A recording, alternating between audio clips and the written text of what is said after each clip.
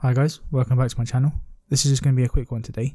I recently picked up a 13 inch MacBook Pro and while I'm really happy with the device, I do feel scared taking it out and about because of how nice it is and I'm afraid to damage it. So I decided to look on Amazon to try and find the best case that I could. Um, the one I decided to go for is the iBlason dual layer hybrid case.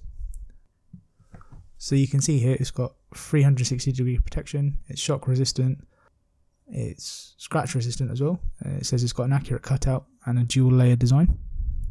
Um, so the reason I chose this one over the others was it had quite good reviews on Amazon and it also seems to offer the best protection. So you can see already the main aspects of the design. It's got a black plastic outer ridge and a clearish middle. So you should still be able to see the design of the laptop. Um, and you can see here it is two pieces. So this is the top piece here. And you can see in the middle it's a frosted plastic. So this will let you see through to the main logo and whatnot. So you can see it's got a bit of a lip so you can lift up the laptop easily. And this is the bottom piece. Nothing too fancy. Okay, so let me just get the laptop. So this is my laptop. It's the 13 inch model 2018. I went for space grey. That's why I went for the black case. So hopefully it doesn't lose too much of the colour.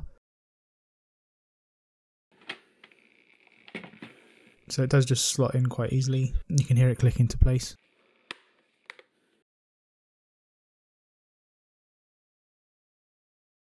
So that's one piece. I'll just get the top piece now.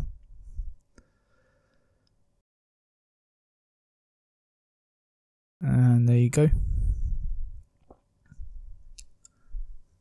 So right away, it does add quite a significant amount of weight to the laptop, which is not too much of a problem, not too much of an issue for me. It's still quite easy to lift the lid open, which is important. And you can see it doesn't really add too much to the laptop when you're actually using it, which is great.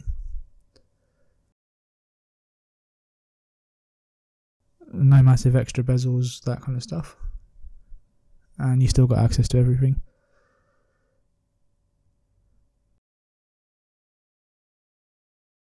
So you can see here you still get access to both Thunderbolt 3 ports on the left hand side and also the two Thunderbolt 3 ports and the headphone jack on the other side.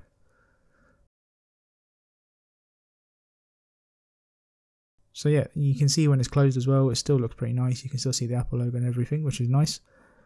Um, I like it. It definitely adds the protection that I was looking for and obviously easy to set up. Um, one thing I forgot to mention is that from the back it's completely open, so the vents for the laptop are still exposed, which is good for cooling. Because that was one worry I did have was that that would be all blocked up. But yeah, that's fine. Yeah, so that's it. Any questions, let me know. Thanks for watching and stay tuned for more.